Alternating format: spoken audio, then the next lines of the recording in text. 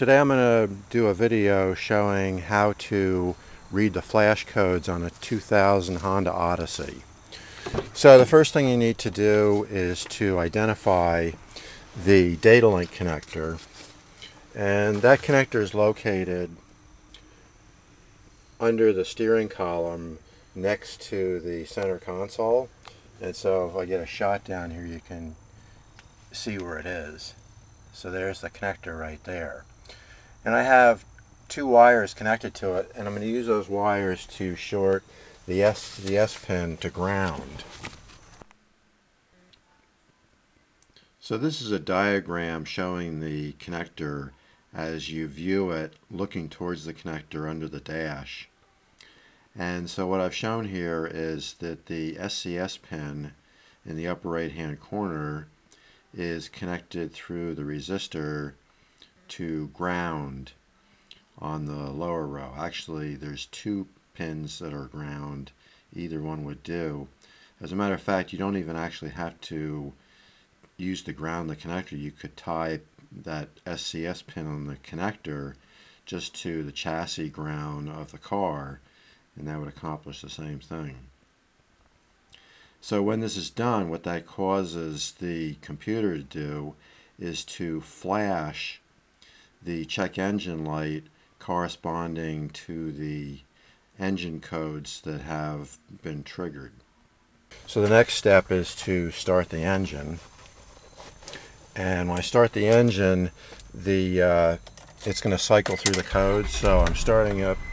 And now if you look at the dash, you can see the engine codes flashing there.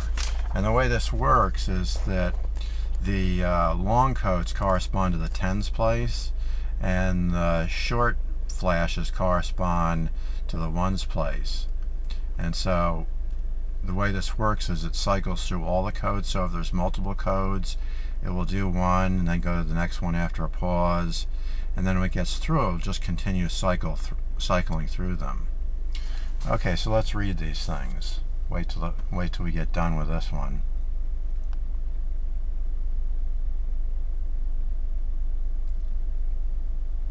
So those are the long flashes, and these are the short flashes. That was a 72 actually.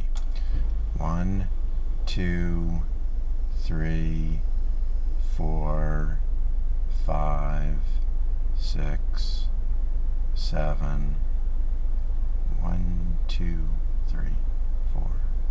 That was a 74.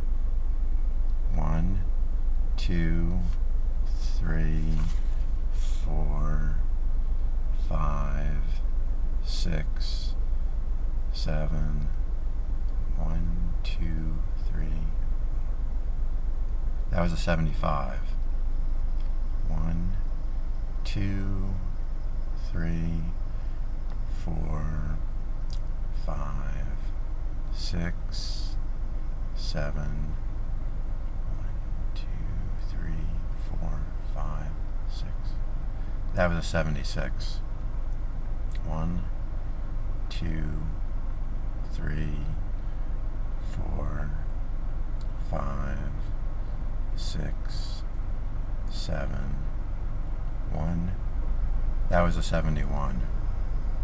One, two, three, four, five, six, seven,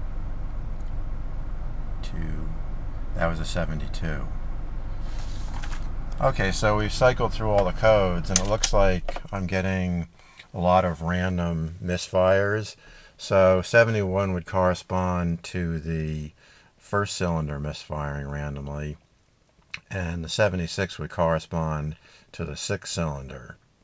So anyway, I hope this helps you in terms of diagnosing your 2000 Honda Odyssey and the key point is that you don't need to spend a lot of money on an expensive code reader to read these codes.